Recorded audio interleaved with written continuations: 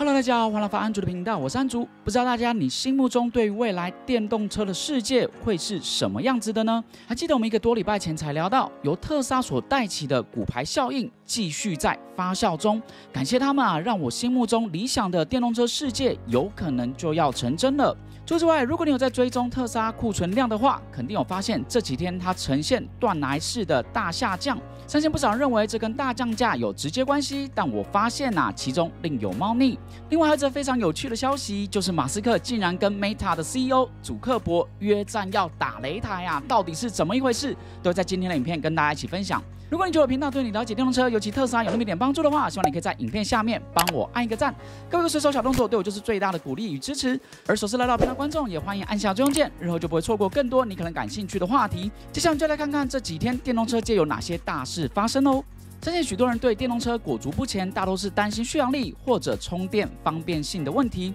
确实也没错啦，在过去，如果要长途旅行驾驶电动车，确实是要比驾驶汽油车要做的功课还要多一些。虽然这问题对驾驶特斯拉的车主相对较小，但我心中依旧希望能有那一天，不管我们开哪个厂牌的电动车，到了哪一个厂牌的超充站，只要充电枪拿起来，就可以帮我们的爱车进行充电，就像开加油车去加油一样。而在过去几周，以特斯拉为中心所引起的骨牌效应，让我感觉到这个世界有可能比我想象的还要早到来哦。继之前福特、GM、通用汽车宣布他们要加入特斯拉的充电规格 NACS 北美充电标准的阵营之后，最新消息是，连专做电动车的 Rivian 也宣布他们要加入特斯拉的 NACS 阵营了。预计从二零二四年开始，Rivian 将可以开始使用特斯拉在全美超过一万两千座。带有转接头的超充站，并且从二零二五年开始，Rivian 将会搭载特斯拉的充电端接口。这个消息对我来说不但意外，也非常重大，因为 Rivian 可以算是我除了特斯拉之外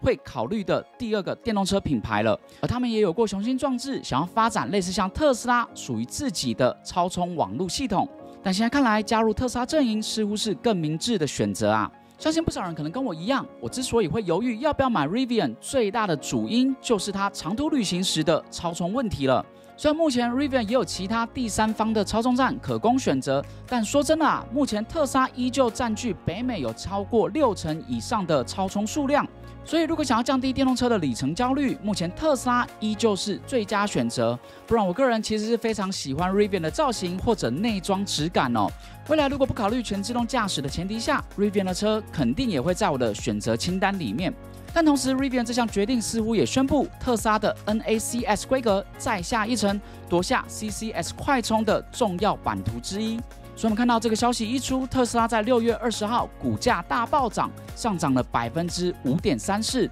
同时，几乎可以说是放弃自己超充版图的 Rivian，在当天则是大跌了百分之六点八八。可以看出这个决定的影响有多重大。但我是希望长远来看，Rivian 可以因为这个决定帮自己带来更多的消费者。另外，不止车商，我们之前也聊过许多的快速充电网络营运商，像 ChargePoint 啊、EVgo 等等的。他们也宣布要使用特斯拉的 NACS 规格了。昨天消息，德州宣布，如果想要参与使用联邦资金来达成高速公路电气化的充电公司，未来新电充电站就必须同时使用美规的 CCS 以及特斯拉的 NACS 两种充电标准，才能符合资格。而且我希望未来可以看到越来越多的州也采用类似的标准。如此一来，只要你开的是特斯拉 NACS 规格的车，不管到哪边，你能充电的地方肯定是最多的。这对降低长途驾驶的里程焦虑真的非常有帮助啊！所以，我心目中理想的电动车世界，就是不管你开着哪个厂牌的车，到哪一个超充站，都可以充电枪拿起来，放心的充电。而目前看起来，使用特斯拉 NACS 规格的车，实现的机会是大大增加。相信这一大进步，未来大家在长途旅行时，肯定会非常有感。是说现在已经六月底了，暑假即将来临，大家应该都准备要出门旅游了吧？出门在外，除了交通安全非常重要之外，大家千万也别忽视了网络安全。这时候就感谢今天的影片赞助商 NordVPN。我自认是一个还蛮常出门旅游的人呐。自从我使用过 NordVPN 之后，只要我出门，不管是手机、平板，甚至笔电，NordVPN 几乎都是随时开启的状态。因为透过 NordVPN 上网，等于帮我的网络连线加装了一层防护罩，不但可以保护我的隐私之外，可以避免我的密码外泄。它的安全性极强，重点是速度又快，因为它在全球拥有超过五千多座的伺服器。不管你是要拿来做日常使用，或者看高清影片，透过 NordVPN 上网一点问题都没有。而且它同时还可以支援六台装置上网，所以我同行的家人每个人都可以在它的保护之下。自从有了 NordVPN，我就可以很放心的使用旅馆啊、机场公共网络，再也不用担心我的资料会外泄了。而 NordVPN 也非常够意思啊！他们提供安卓的观众非常实惠的价格，各位只要透过我说明栏的链接去申请，或者使用我的折扣码 FireVPN 的话，只要申请两方案，不但直接再送一个月的服务之外，每个月的月费最低只要三点三五块美金呐，真的是连一杯咖啡的钱都不到。更贴心的是，他们依旧提供长达三十天的退款保证。让从没有接触过 VPN 的朋友可以放心的体验它的美好。如果你跟我一样，只要一天没用网络就会开始全身发痒，我相信 NordVPN 绝对是你值得投资的工具之一啊！各位准备要出门旅游的朋友，千万也别忘了自己的网络安全。安竹再次感谢 NordVPN 赞助今天的影片播出。接下来我们再回到今天的主题。不过聊到这边，肯定有人会说，这都是美国消息，跟我有什么关系？但各位，只要你有或者想要投资特斯拉或者电动车相关产业的话，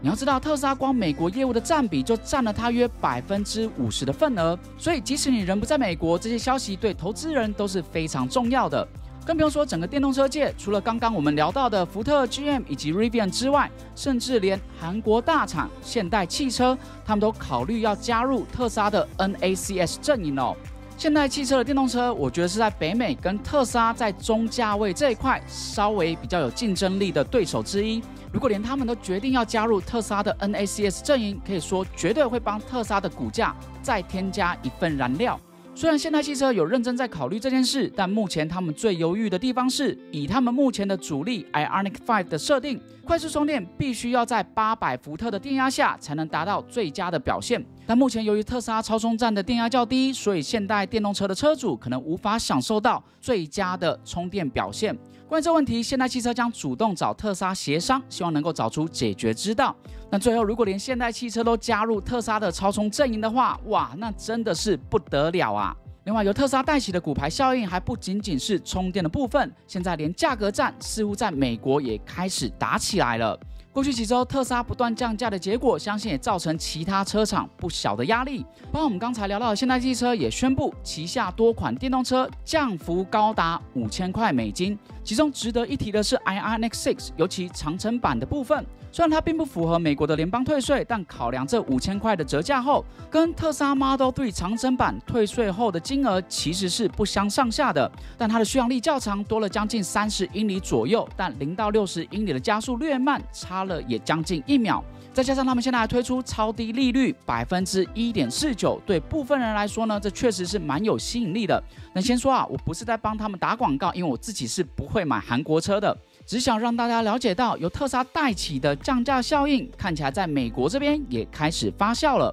但确实，现在市场上是多了许多的选择，就看大家喜欢怎样的内装以及有哪些特点。但总的而言，这样的发展最大的受益者就是消费者我们啊，我们将可以用更低廉的价格买到更好的产品。电动车再也不像以前感觉这么高不可攀了。另外，可能有人注意到，特斯拉库存现货车，不管是哪个车种，在这两三天都呈现断崖式的大下降。这种断崖式的大下降，只要不是发生在股票市场，而是库存量的话，对公司绝对是一件好事。但真的有到这么夸张吗？刚好最近我有位好朋友要买车，所以我有特别帮他留意现货车的部分。我发现啊，在我礼拜一做影片的时候，库存车上面车辆都还列有它所在的位置，但这个标记在礼拜二的时候就消失了。后来仔细研究，发现其中另有猫腻。假设我们锁定 Model 3最便宜的这一款三万八千零三十块的这款车。在你的邮递区号方圆不管二十五英里还是两百英里以内，就只有这么一台，